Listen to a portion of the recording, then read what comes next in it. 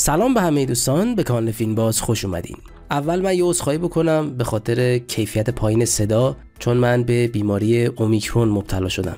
و یه خورده صدام گرفته است دیگه به بزرگواری خودتون ببخشید. خب دیشب مراسم اسکار برگزار شد و های جالبی هم داشتش یعنی سیلی زدن ویل اسمیت به کریس راک. اولش تصمیم داشتم همونطور که سال 2020 خلاصه مراسم ها رو پوشش می‌دادم امسالم همین کارو بکنم. ولی وقتی دیدم قسمت حاشیهش خیلی طولانی میشه تصمیم گرفتم که ویدیوی خلاصه رو جداگانه منتشر کنم و یه ویدیو جداگانه برای این قسمت بسازم. و تو این ویدیو یه نگاه کوچیک به حاشیه مراسم اسکار بندازیم.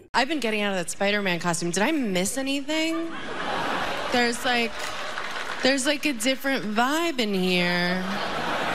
اگه این کارا رو چند وقت باشه که دنبال می‌کنید می‌دونید که من از این ویدیوهای حاشیه‌ای اصلا درست نمی‌کنم. تمام 150 تا ویدیویی که توی کانال هستش همشون به مسائل فنی یا تفسیر و نقد فیلم برمیگرده. ولی این موضوع به نظرم خیلی مهم بودش. به نظرم تا سالها در رابطه با اتفاقی که دیشب افتاد صحبت میشه. برای همین تصمیم گرفتم یه نگاهی بندازیم به اینکه اصلا چی شد که کار به اینجا کشید و بازیگرا برای اینکه دیده بشن دست به چه کارهایی می‌زنن. اینکه این موضوع از کجا شروع میشه؟ برمیگرده به تیکه‌ای که سال 2016 زمانی که کریس راک مجری 88 مراسم اسکار بودش به ویل اسمیت انداخت. توی اون سال ویل اسمیت توی یه فیلم بازی کرده بود به اسم Concussion. و خب خودش و همسرش یعنی جیدا می‌گفتن که ویل اسمیت باید کاندید اسکار بشه. ولی این اتفاق نیفتاد و جیدا و اسمیت مراسم رو به خاطر نبود تنوع نژادی بایکوت کردن. یعنی اینجوری گفتن که ما رو به خاطر دلایل نژادی کاندید اسکار نکردن. توی اون سال 2016 کلا حرف زیاد بود از اینکه چرا هیچ کاندیدای سیاه‌پوستی وجود نداره. ولی تنها شخص مهمی که مراسم رو بایکوت کردش همین ویل اسمیت با همسرش بود. مراسم اسکارم برای اینکه انتقادها رو کمتر بکنه اصلا مجری مراسم و سیاه‌پوست انتخاب کرد. یه همچین انتقادهای کلا به مراسم Golden Globe میشه گرفت به خاطر اینکه اون مراسم هیئت داوران دارن. ولی اسکار یه آکادمیه و تعداد خیلی زیادی رای دهنده داره. نمیشه یه آکادمی رو محکوم به رفتار نژادپرستانه کرد. هزاران نفر توی مراسم اسکار توی رأیگیری شرکت می‌کنن. همشون با هم که نژادپرست نیستن که. حالا مراسم اسکار هم یه سنتی داره. وقتی کسی بر علیهش حرف بزنه توی افتتاحیه مراسم اون فرد مسخره می‌کنه. تا یه جوابی به حرفاش داده باشه. مثلا همین امسال لیدی گاگا مراسم رو تحریم کرد. به خاطر اینکه کاندید اسکار نکردنش به خاطر بازی توی فیلم House of Gucci مجریای مراسم هم این شوخی رو باش کردن.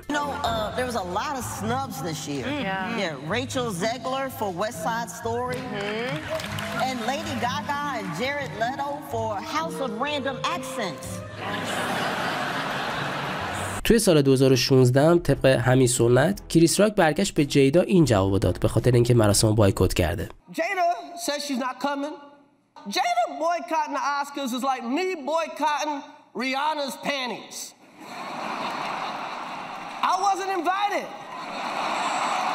یعنی اصلا برگشت بهش گفت تو اصلا دعوت نشده بودی که بخوای حالا مراسم بایکوت کنی. این اتفاق سال 16 باعث شد تا جیدا یه سری مصاحبه بر علیه کریس راک بکنه ولی قضیه تموم شد تا همین امسال. ویل اسمیت امسال برای بازی توی فیلم King Richard کاندید اسکار شده. این فیلم در رابطه با خانواده سرنا ویلیامزه و ویل اسمیت هم نقش پدر این خانواده رو بازی می‌کنه. حالا توی ویدیویی که برای خلاصه مراسم می‌سازم اونجا این فیلم رو بیشتر معرفی می‌کنم. توی این فیلم نشون میده که چقدر پدر خانواده ویلیامز برای اینکه خانوادهش موفق بشن تلاش می‌کنه و یه جورایی یه فیلم خانوادگیه امسال هم وقتی کریس راک روی سن رفت برای اینکه بخشی از مراسم رو برگزار بکنه با جیدا این شوخی رو کردش Jada, I love you.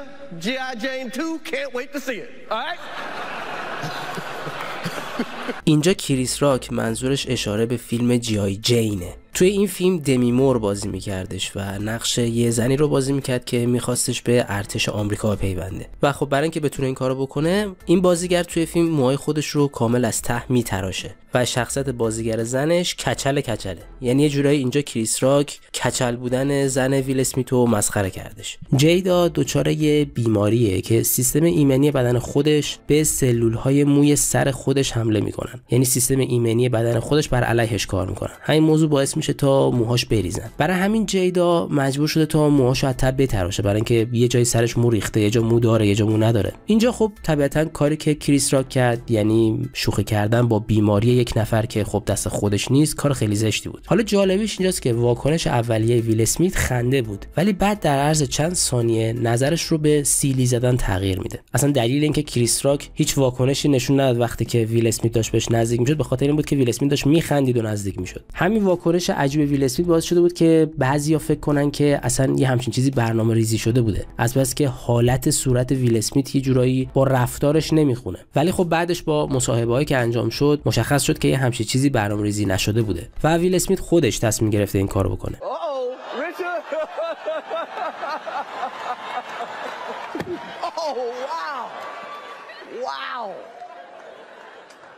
Will Smith just smacked the out of me. My wife's name out your mouth.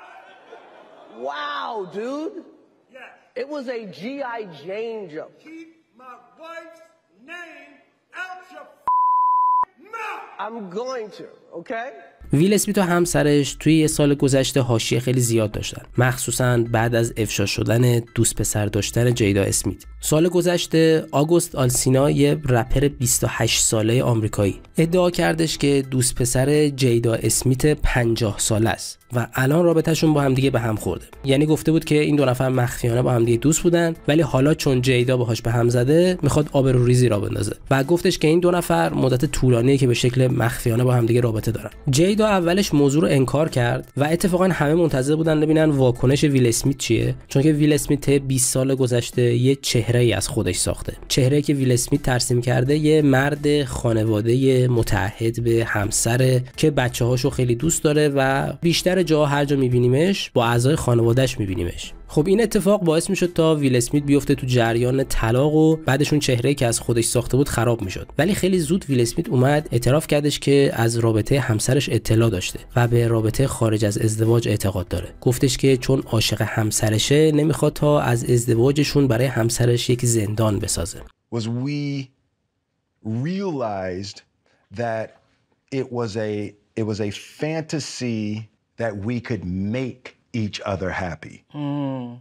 And we agreed that she had to make herself happy and I had to make myself happy یعنی یه جورایی موضوع رو ماسمالی کردش تا اتفاقا حرکت هوشمندانه ای هم بودش. چون با این اتفاق یه جورایی شهرتش خدشه‌دار می‌شد. ولی با این داستانا ویل اسمیت و جیدا موفق شدن موضوع رو ماسمالی کنن و همینطور به ازدواج خودشون ادامه دادن در حالی که اعتراف می‌کردن که یه ازدواج باز دارن و هر دوشون جدایی از زندگی مشترکشون شریک های دیگه ای هم توی زندگیشون دارن. ویل اسمیت توی چند سال گذشته خیلی خیلی کمتر از دوران اوج خودش موفق بوده و اتفاقا این حاشیه که دیشب براش اتفاق افتاده می‌تونه دوباره نامش رو ببره سرخط خبرها البته توی مراسم دیشب چند دقیقه بعدش ویل اسمیت برنده جایزه اسکار بهترین بازیگر مرد شد و این سخنرانی احساسی در اتاق مراقبت از خانواده و اینجور چیزا انجام داد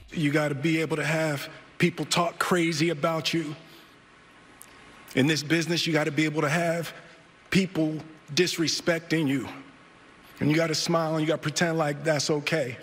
But Love will make you do crazy things. این رفتار ویل اسمیت خیلی واکنش های متفاوتی داشته تا الان. توی توییتر که داشتم گشت می‌زدم نصف ملت از این رفتار حمایت می‌کردن نصف دیگهشون داشتن انتقاد می‌کردن. به حال هرچی که بودش به نظر من می‌تونست ویل اسمیت خیلی متمدنانه تر جواب این کارو بده. شوخی مجری خیلی بد بودش مسخره کردن بیماری یه نفر خیلی کار زشتیه. ولی می‌شد جواب این حرف زشت کریس راک رو توی مصاحبه بعد از مراسم می‌شد خیلی راحت ازش انتقاد کنه یا کلا به رسانه ها می‌تونست اعتراض کنه. زمزمه هایی هم شنیده میشه که ممکنه آکادمی اسکار جایزه اسکار ویل اسمیت رو پس بگیره. حالا بعد صبر کنیم ببینیم واقعا این اتفاق میفته یا نه. و اینکه بعد ببینیم که آیا حرفه ویل اسمیت دیشب نابود شدش یا نه. یا اینکه این بازیگر بازم می‌تونه از حاشیه هاش فرصت ایجاد کنه. شما چی فکر می‌کنید؟ به نظرتون کاری که ویل اسمیت کردش درست بود یا زیاده روی کردش؟ یا اصلا یه نقشه بود که مراسم اسکار انجامش داد یا ویل اسمیت این کارو کردش که بیاد توی صدر اخبار؟ حتما نظر خودتون رو توی بخش کامنت ها بگید. امیدوارم این ویدیو براتون مفید بوده باشه. اگر این ویدیو رو دوست داشتید حتما این ویدیو رو لایک کنید و اینکه امیدوارم توی زندگی خودتون موفق باشید و خدا نگهدار.